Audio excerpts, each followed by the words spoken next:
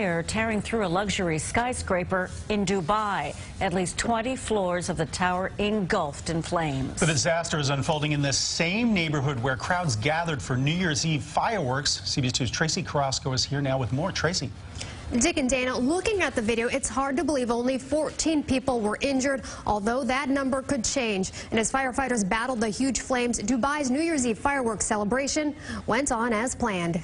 Dubai's New Year's Eve fireworks show went off as planned at the Burj Khalifa, the world's tallest skyscraper. But nearby, bright orange flames could also be seen lighting up the night sky as thick smoke spilled from a luxury hotel and residential building called the Address downtown.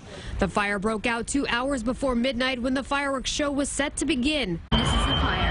The area was packed with spectators celebrating, and witnesses say the mood quickly changed once the fire started. You know, it's just kind of a sense of euphoria. People laughing, you can hear them, the music was playing, and then all of a sudden you saw the flames and everyone was focused, running, you know, to kind of get a better vantage point, and then um, it's right now it's kind of a sense of silence out there. You don't hear anything. Burning debris could also be seen raining down onto the streets below as the building was evacuated. People inside said the building was full at the time. They took us through back stairways. They guided us down, and everyone pretty much remained calm.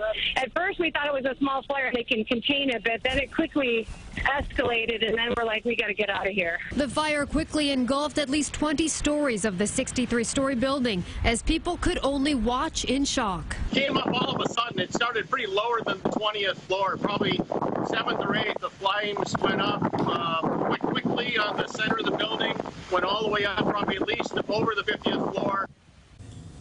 Again, just 14 injured. It's not yet clear what caused this fire. Dick? All right, Tracee, thanks very much.